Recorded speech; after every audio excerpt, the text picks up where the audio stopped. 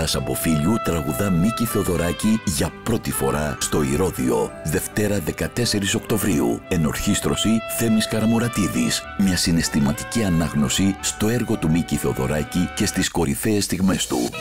Η Νατάσα Μποφίλιου και ένα πολυμελές ερμηνευτικό σύνολο στο πιο συγκινητικό αφιέρωμα που έγινε ποτέ για τον Μίκη Θεοδωράκη. Δευτέρα 14 Οκτωβρίου στο Ηρώδιο. Εισιτήρια ticketservices.gr Πάντα έντεχνα, πάντα μελωδία.